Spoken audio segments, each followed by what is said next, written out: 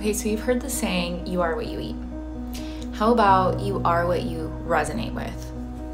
I'm assuming you understand that we live in a world full of vibrations and energy before any chemical reactions, such as an emotional release or hormonal release or the growth of a plant, the change of matter, before any chemical changes, there has to be an electrical impulse. Hence, us living in a universe that is just frequency first. So, the law of resonance states that whatever the highest, higher um, frequency is, like the stronger frequency, other frequencies to, will raise to match it, even if it's a negative frequency. Like if you've ever gone into a room and everyone's mad and then all of a sudden it like really brings down your mood, that's because the strongest frequency was that of anger or sadness or whatever. So you are what you resonate with. Look around you, kind of take stock. Are you resonating on just getting by?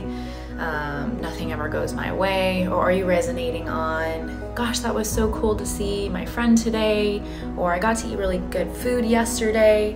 Where are you resonating? And we're not talking about high versus low frequency here because low frequency is incredibly necessary to your experience, to everyone's experience.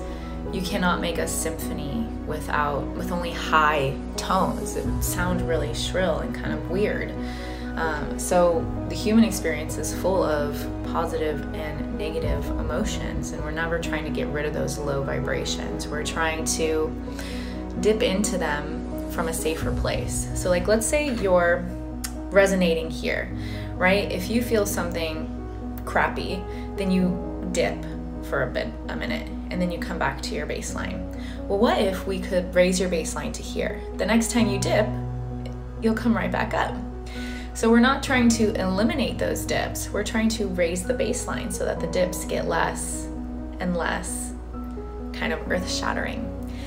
That's where frequency and resonance comes in.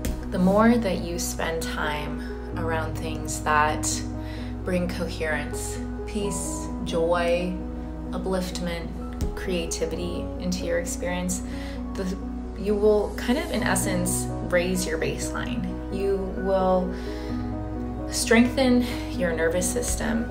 You will be able to be triggered less by the things that really get you right now. So that's why I use frequency every day.